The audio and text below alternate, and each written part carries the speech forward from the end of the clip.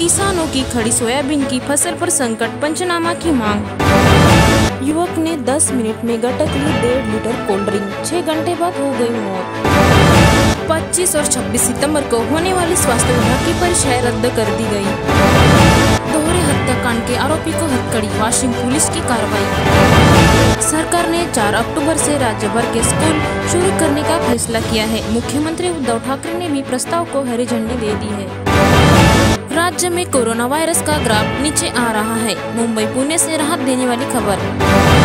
अब राजस्थान कांग्रेस में बदलाव की पायलट और धानी परिवार की भी चर्चा। गोवा में आगामी विधानसभा चुनाव को लेकर कांग्रेस में हलचल, नए चेहरे को टिकट देने की मांग। पानी को लेकर विवाद, युवक ने अपने दो भाइयों पर कैसे से किया हमला।